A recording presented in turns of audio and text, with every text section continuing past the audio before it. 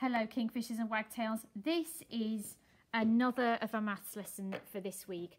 Uh, we're thinking about part part whole numbers, okay, and about how we add those together. So I've got two cubes there and I've got one, two, three, four, five, six, seven there. If I put the two in one part and the seven in one part, if I wanted to add them together, I'm going to move them to the whole because this is the whole number. And then how many have I got now? I'm going to count up from the big number because we know now, don't we? That's the quickest way to do this. So I've got seven, eight, nine. So I've got two that I've moved, seven that I've moved, and now I have nine. Now, we know that you haven't got one of these part-part wholes at home, but you know what? You could use a bowls and some bowls instead.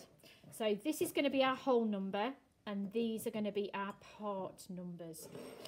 Okay, so I could put my 2 in there, and my 7 in there, and then I've got this. Should we see how many's here?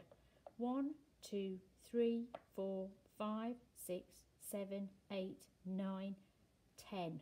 I'm going to put my 10 in that bowl there. Now, if I wanted to add all of these together to make one whole number, there's something that I can do. And it's this here.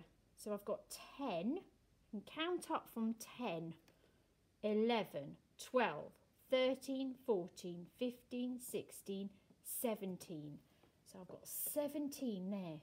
And then I'm going to add two more 17 18 19 so I know now my whole number is 19 you can use apples or fruit at home to do the counting with. You can use you can use cereal. You can use sweets if you like but try not to eat them all.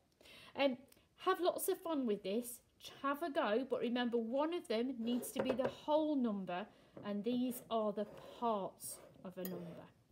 Have lots of fun, wagtails and kingfishers, having a go at that at home. Bye.